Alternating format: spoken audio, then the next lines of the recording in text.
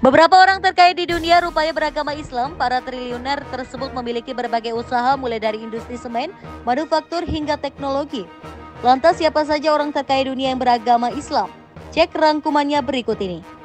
Aliko Dangote CEO Dangote Group Aliko Dangote merupakan pria muslim terkaya seantero Afrika dengan kekayaan mencapai 13,5 miliar US dollar. Pria dengan keluarga negara Nigeria tersebut kini menduduki posisi ke-124 sebagai orang terkaya di dunia. Sumber kekayaannya ialah bisnis semen Dangote Semen. Perusahaan ini sekaligus menjadi perusahaan semen terbesar di Afrika dengan produksi 48,6 juta ton semen per tahun serta menguasai pangsa pasar semen hingga 85 persen.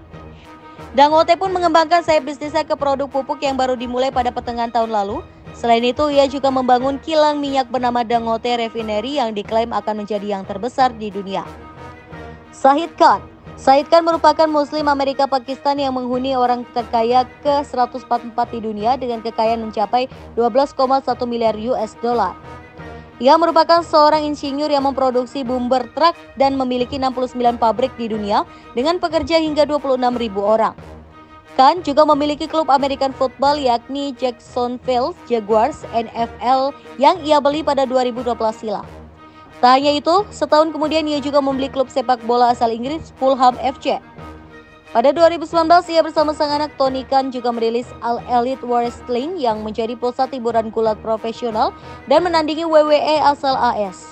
Setahun kemudian, ia juga menjadi investor utama bagi kanal media dengan nama Black News Channel atau BNC di AS. Azim Premzi Azim Premzi merupakan seorang muslim asal Gujarat, India yang memiliki kekayaan hingga 9,2 miliar US dollar. Azim merupakan pendiri Wipro, perusahaan yang bergerak di bidang software yang menjadi salah satu pemain piranti lunak terbesar di India. Sebelumnya ia pernah mengenyam pendidikan di Stanford University AS namun harus kandas setelah sang ayah meninggal dunia. Perusahaan tersebut bahkan memiliki Innovation Center di Silicon Valley dan fokus pada pengembangan teknologi baru serta berkolaborasi dengan startup di sana. Dengan kekayaan sebesar itu, Azim Pemzi menduduki posisi orang terkaya ke-208 di dunia.